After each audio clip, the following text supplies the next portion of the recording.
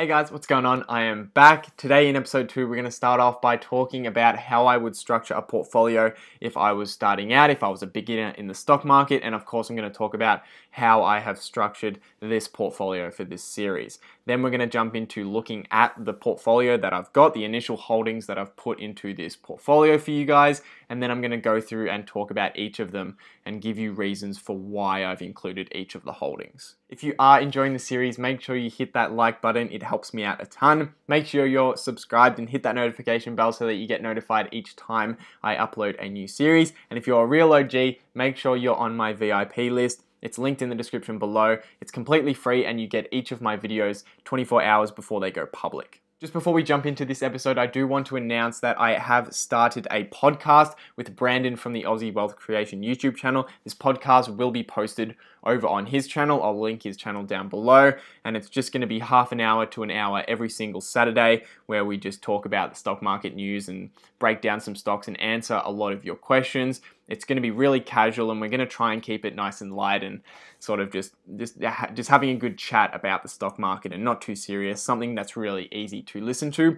The first episode is already out on his channel, and if you don't want to watch it on YouTube, because I know that's kind of annoying watching a podcast on YouTube, you can also watch it on iTunes and on Spotify. So just search for the Young Investors Podcast and it should come up for you. I'm actually not sure if it's on iTunes yet, but I have checked Spotify and it is on Spotify. So um, you can go over there and follow that and make sure that you get updated whenever a new podcast comes out. But besides that, make sure you're subscribed to the Aussie Wealth Creation YouTube channel, as I'm sure most of you are, because a lot of you have come over from there, especially since we've posted that video. So welcome to all the new people who have come across to my channel, and I hope you enjoy this episode. All right, so let's start off by talking about how I would structure a portfolio. Now, there's a couple of things that you want to avoid when you're just getting into the stock market. And I touched on these at the end of last episode, but in case you didn't see that, I want to expand on those right now. So the first is that you invest in some individual stocks, and that's all you do. You pick one or two individual stocks,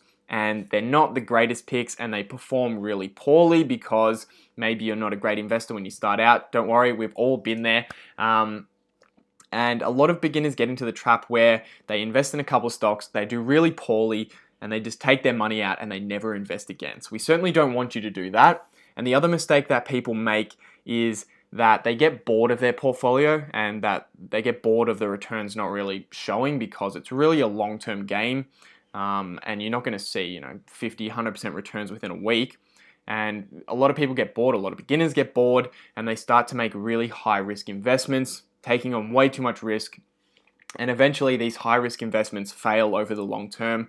No one has sustainably invested successfully in really high risk investments. So eventually these crumble, and again, you're going to be put off from investing in the market. So we want to avoid those two things. And I have a couple of ways that I structure my portfolio to avoid making those mistakes as a beginner. All right, so to tackle the first problem, I would recommend that you invest 50 to 100% of your initial stake into an index fund. Now, if you don't know what an index fund is, it's a fund that you can, well, basically, it's a stock on the stock exchange and it comes under the heading of an ETF. It's an exchange traded fund.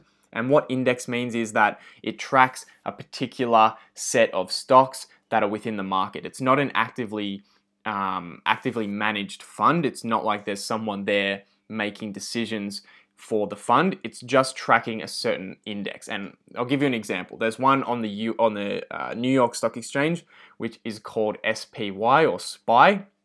And essentially, it gives you a piece of every single business in the top 500 companies on the New York Stock Exchange. So it will give you a piece of all of the biggest companies that you know Apple, Coca Cola, Facebook. It'll give you all of those really big companies. And basically, this is great because it gives you a, a, a diversified base um, for your portfolio. So you're going to have a little bit invested broadly across the US market. And you can also do this in the Australian market one that I use personally is VAS, which is the Vanguard Australian Shares Index. And that one gives you a piece of the top 300 companies on the Australian Stock Exchange. And this is a really good thing to do because it means that a lot of your money is diversified in a market, and over the long term, the US and the Australian markets have returned about 8 to 12% per year over the very long term. And I think the Australian market has actually performed a little bit better than the US market over the very long term.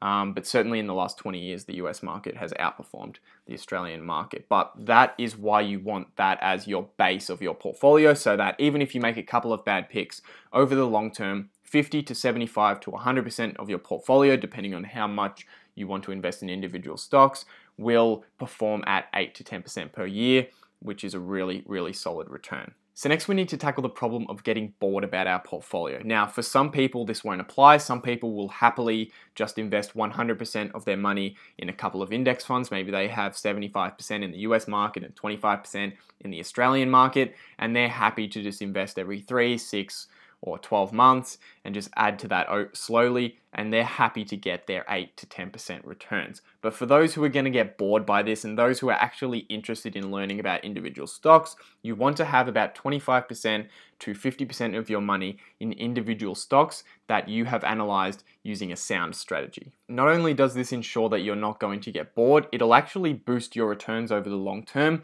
if you are good at implementing that strategy because the kind of returns that I look for on individual stocks is somewhere between 15% to 20% per year. So it's going to drastically increase the return that you're going to get as long as you're able to accurately implement that strategy. And don't worry if you don't have a strategy or you have a strategy but it's not really working out for you because throughout this series, I'm going to go through each and every aspect of how you can use the strategy that I use and the strategy that I've had success with picking individual businesses. So just to summarize, if I was starting a brand new portfolio as a beginner, I would start by putting 50 to 75% of my money in an index fund such as SPY, which tracks the US market, or VAS, which tracks the Australian market.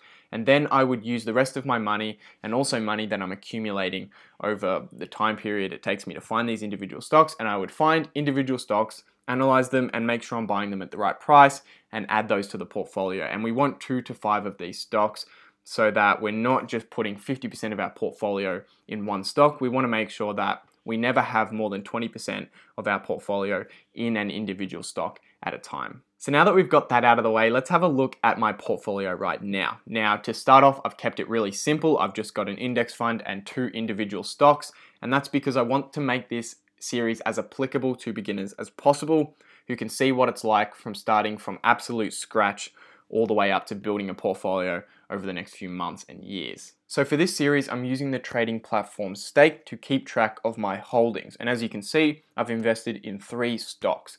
The first is Facebook stock, which is obviously an individual business and you've probably heard of it.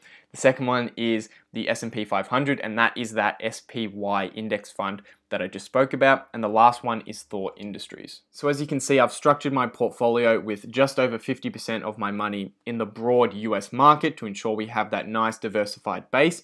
And then I've taken the other 50% of our money and invested it in two individual businesses, that being Facebook and Thor Industries. Now I just want to spend the rest of this video talking about why I've picked those two individual stocks to give you a bit of context as to why I've started out with those two. And essentially the reason is basically they fit most, if not all, of my criteria. And my criteria comes down to two components. And if you listen to the podcast, I explain this really in depth at the end of that podcast in the last maybe 10 or 20 minutes. I explain this. Um, but I'll go over brief, briefly. The first part is that you need to buy really great businesses that are going to be great and stay successfully competitive in that marketplace for at least 10 years. And the second part is that we need to buy it at 50% of fair value. So, of course, that means that we need to calculate what the fair value is, then we discount that by 50%, and we would only buy into the stock if we think that it is at half price, essentially. Half of the price, the price.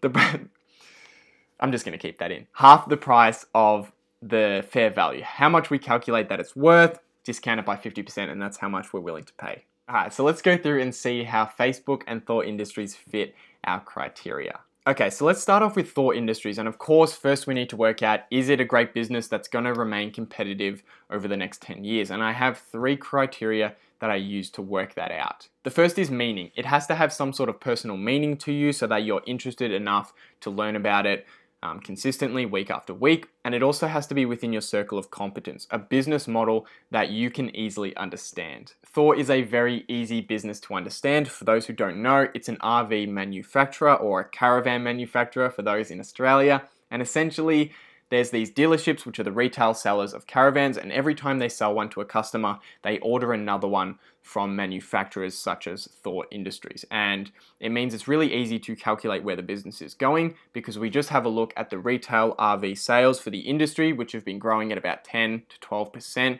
per year and we can work out that that is how many RVs these dealerships are going to order from companies like Thor Industries. The next criteria is moat. It has to have some sort of long-term competitive advantage that ensures it's going to stay the leader in the industry or at least stay very, very competitive over the next 10 years. For Thor, this moat comes in the form of having over 50% market share in the RV industry, which is insane. So that means for every two RVs that are sold in the United States, one of them is likely to be a Thor Industries caravan. Thor has also demonstrated that it has a strong economic moat by growing its margins over time. If we see that the net margin and the gross margin are shrinking, it can indicate that they're having to ramp up their costs, maybe it's advertising or more staff, in order to stay competitive and fend off competition. But their margins have actually been growing, so they've been getting better and better at producing net income from that revenue. And we also like to look at those four key growth numbers to ensure that they're growing over time. And for Thor, they have been growing very, very consistently over 10 to 20 years. And those four areas we look at are sales or revenue, earnings per share, equity, and free cash flow. And the last criteria we need to look at is does the management have skill and integrity? And there's a couple of things I like to look at in order to see this. The first is what is the ROIC, which is the return on invested capital. Essentially, it tells us of the money that they're using to invest in inside the business, what is the return that they're producing? And for Thor Industries, it's been amazing. It's been 15 plus percent over five years, and it's been 25% this year. The management has also been able to operate with very, very little debt, which is very good because it means there's very little risk to us. A couple of other things is that the co founder is still the chairman of the board, which means that one of the people who founded the company, who had the vision for the company, is still within the company. They've never had an unprofitable year since they IPO'd in 1984. And speaking of 1984, that is another thing. They've been around for 30 years, and as you saw in the growth numbers earlier, they've been able to perform exceptionally over that time. And the last thing that I like to look at is to see if the letters to the shareholders are transparent. A lot of management will write these letters to the shareholders and they'll be really salesy, like they're trying to acquire more shareholders and just push the stock price up. That is not the case with Thor Industries. They're always very honest about what problems they're having, and that is a really great sign, and it means that our management has skill and integrity. So then the second component of my strategy is that we need to make sure we're buying it at 50% of fair value. First, I calculated what price I think Thor will be at in 10 years' time by growing the earnings for 10 years at their long term EPS growth rate to get an earnings of $35.57 in 2027. Then I multiplied that by their average PE ratio of 16 to get a price in 2027 of $570 per share. I then added the total dividends over that 10 year period, assuming a 17% payout ratio.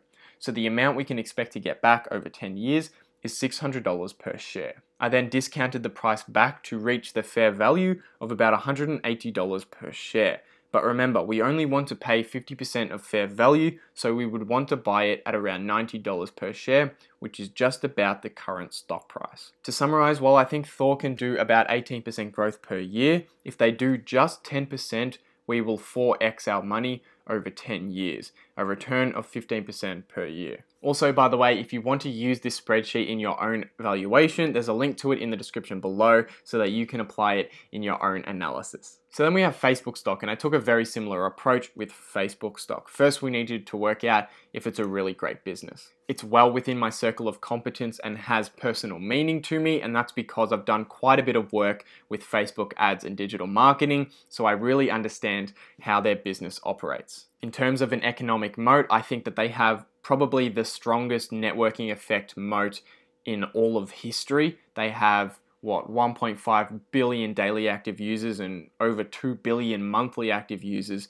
which is an insanely big moat.